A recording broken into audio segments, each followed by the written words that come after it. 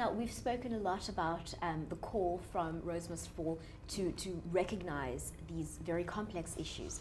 But your organization also sets out um, steps that, that could be done going forward. So this isn't a, an academic uh, discussion, there are practical steps. Mm uh, you've mentioned quite practically the renaming mm. of uh, Jameson Hall to the Marikana Memorial, Marikana Memorial Hall. Marikana Memorial Hall. Mm. And um, Brian, when we started off the interview, you mentioned a program that you want uh, either instituted or acknowledged at the university. Talk to us about that.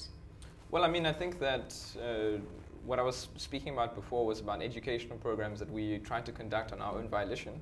But uh, in mentioning that, we want to uh, illustrate that the, out of the conversations that came out and the debate that took place at Avenue House, which, we re, uh, which was Bremner Building, which we renamed during our first occupation, um, we were trying to tap into understanding what decolonizing education would be like, uh, which many fancy academics have the luxury of studying and taking further, but, uh, but we take the risk to do in our extra time uh, and through our activism. And, and, what we're really trying to say, or show leadership here at UCT, is to demonstrate to the university what this future uh, university should look like. And part of that in our, in our minds is having these conversations about looking at societal issues and looking at how um, we, in our disciplines, dissolving the discipline almost, and saying, look, how do we contribute? How do we bring justice to these kinds of contexts? How do we prevent things like Marikana from happening? We don't want students from public institutions um, to be leaving without a sense of understanding about what is wrong with where we've come from and how do we change it.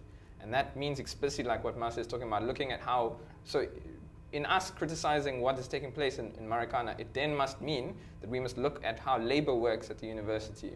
And that must also be reflected in the curriculums. And we, in, in our statement, we make specific uh, reference to the economics department specifically, who has a very particular bent uh, in their curriculum, which is very neoliberal and very uncritical of capitalism. And while we're not saying that those, ki that those kinds of uh, pieces should be removed from the curriculum altogether, if they're not supplemented with criticism, then people are only told one side of the story. And if people are only told the side of the story that we contend uh, exploits labor, then we lead ourselves to a very dangerous situation. So that rectifying those things, and this is a, to, in many respects, this is something the university is already committed to. There is change happening with the curriculum process, and we intend to be a part of that. But that's not a process that, that exonerates them from everything else. In fact, the decolonization project implies that everything comes into question. Let's talk a little bit um, more about Judge Ian Farlam, his role.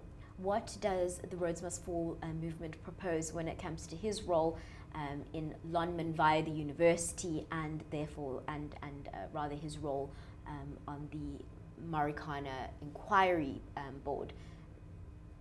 Are you proposing something be done?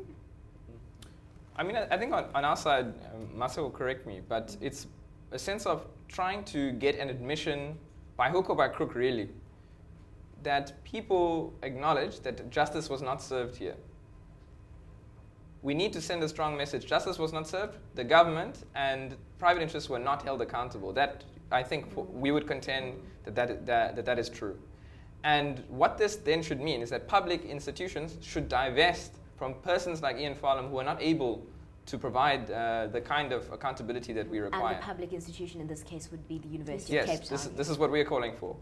A divestment from, from, the university? Well, yes, from, from people who cannot hold our government and our private interests accountable uh, in light of what we feel uh, is our perception of justice. Now, yeah. of course, as, as the movement, you must realize this is, this is a radical call. This is not um, a small step. What you're calling for is, is for a, a huge movement in the upper structures of the university.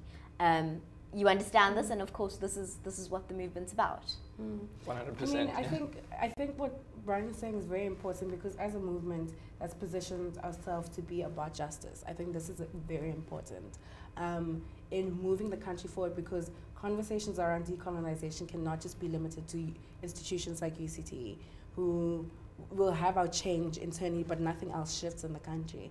I think it's a it's a protocol. It's about shift in the country. It's about holding important people accountable. And we need to also hold Ian Farlam accountable because he's one of the people making decisions about the lives of students, the lives of South Africans, day to day South Africans who will go into the world. And he sits in that position.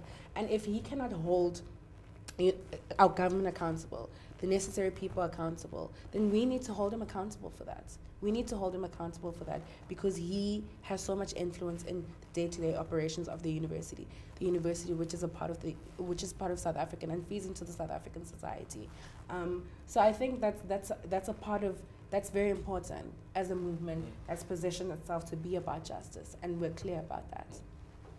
Brian, for the viewer who wants to get in contact with the Rhodes Must Fall movement or read more about what you stand for, or perhaps wants to interact with um, the movement via social networks, mm. how can they do that? I think they should check out our Facebook page, Ro- UCT Rhodes Must Fall, and you can also email us at rhodesmustfall at gmail.com, mm. and we'd be happy to engage and respond yeah. to anyone who would like to be a part of us. Well, Brian, when we last spoke, you promised to me that with the removal of the statue, it wouldn't be the end of Rhodes Must Fall, and you certainly kept your word. Yes. Thank you so much for joining us today. Thank you. Thank you for having us.